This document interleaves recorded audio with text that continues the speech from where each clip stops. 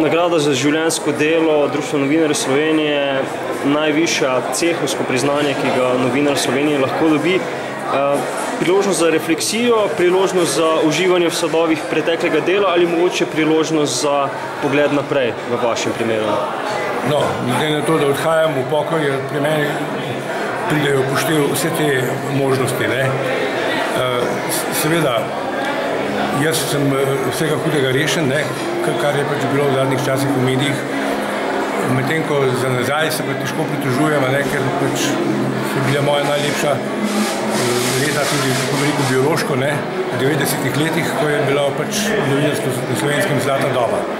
Ne, zdaj pač lahko samo upam, ne, da bo vse tisto, kar je najboljše ostalo, kar je najboljše od klasičnega novinarstva, ostalo, ne, ne glede na to, v katerem mediju, oziroma v katerem nosilcu.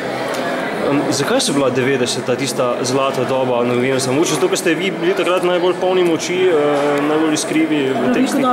Ne, ne zato, zato, ker se je pač takrat po samosvojitvi Slovenije ne, je pač nastopilo to, če danes gledam nazaj, seveda vidim, ne, da je razmeroma kaotično obdobje ustanavljanja novih medijev, pa še pri novih medijih so ustanavljali svoje nove priloge in tako naprej. Ne, skratka, to se je širilo in bohotilo uh, in dela je bilo pač vsak je lahko, vsak je lahko našel tukaj kruh in posel in seveda tudi denar ni bil, ni bil, ni bil omejitev za potovanje in tako naprej. No, vsej, lahko govorimo imeno svojih hiše delov. Ne. Tako da uh, takrat pravzaprav je izgledalo, da je vse skupaj neustavljivo ne, oziroma da ni meja, ne, dokam se lahko pač medijska pokrajina razširi. Ne. No, danes seveda vidimo, ne, da so te meje so in da so nastopile zelo hitro. Danes se pogosto omenja, da obstaja v medijih nekakšen razkorak med generacijami novinarstva, med recimo mlajšo generacijo in pa starejšo generacijo, v katere upam, da vas smem uvrstiti. Uh, kako recimo vi vidite, je dejansko ta razkorak, recimo, ali uspete vi slediti mlajšim kolegom ali še bolje, ali uspejo mlajših kolegi slediti vam?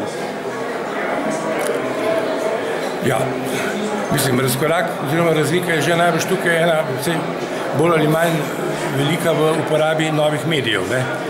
Prav gotovo, da so mladi novinari z njimi izrasli in da jih uporabljajo tako rekoč kot uh, abesedo, medtem ko seveda vse jaz osebno se, se težko pohvalim, ne, da sem tle zelo suveren na tem področju.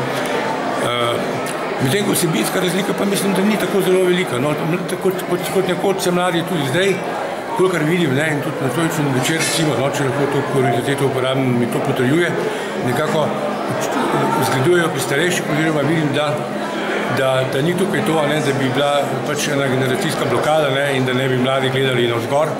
In tudi nasprotno mislim, da, da ni res, ne, da ne bi stari gledali navzdol. No, vse, jaz tako, jaz, vse, kar je prihaja v hišo, ne, ima cel kup novih imen, mladih, ki jih niti ne poznam, torej ne vem, kakšen obraz je za določenim imenom, ampak z veseljem preberem, pač, če je stvar, če, če, če je tema relevantna. Zdaj Društvo novinarjev vas je nagradilo, oziroma porota Društvo novinarjev za recimo temu življenjski opus vašega dela.